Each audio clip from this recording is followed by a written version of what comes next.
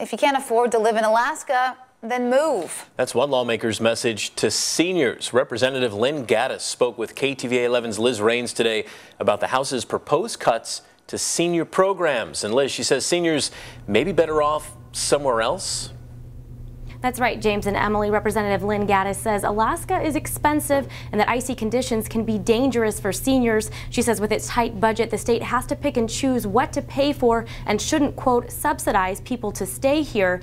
Alaska has the fastest growing senior population in the nation. And today, a senior advocacy group warned that making those cuts to senior programs could have a ripple effect for the state.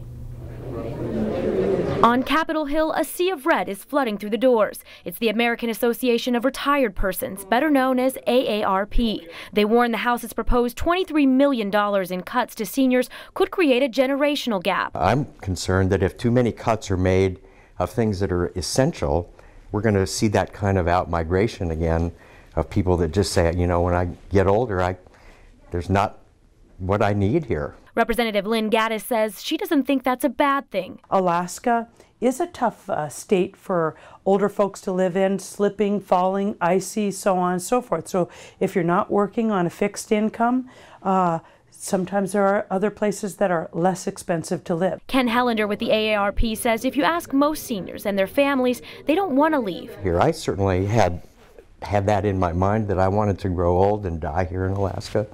I don't know if I'm going to be able to. Um, it frightens me. People have family here. Shouldn't they be able to stay? They should be able to if they can afford it. Gattis says the state has to pick and choose carefully where to put its money. Do you put it in corrections? Do you put it in subsidizing people to stay here because that's what they thought that they wanted to do? And she'll have to ask her constituents one question before reaching in their pockets. Is that a program that you're willing to pay for? Studies by the Alaska Commission on Aging show seniors as a whole are high contributors to the state. At least $2.4 billion annually to Alaska's economy, and the retirement industry is one of the state's top economic sectors. Here's where it comes personal to me is my mom is going to be 90 on March 9th. Senator Donnie Olson says he pays close attention to senior benefits and programs. One of these days, I'm going to be 90, I hope to be 90 anyway, and so that I'm going to be, and I'm not going to wish that, you know, 20 years ago when I was in the Senate that I, or 30 years ago, that, um, that I had done something different.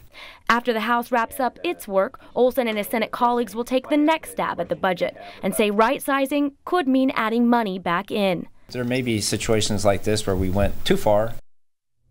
Senator Olson told us today he's already hearing from some of his constituents who are concerned about how those cuts to senior programs could be particularly harmful in rural Alaska. There's still a chance for people to have their say. When can we weigh in on that budget? Well, James, right now, public testimony on the budget is being taken by region. Tonight, lawmakers are hearing from members of the Juneau community. They'll be taking public testimony in Anchorage on Wednesday from 1 to 4.30 p.m., and you can participate by going to the Anchorage LIO. James and Emily. All right, Liz Raines live in Juneau tonight.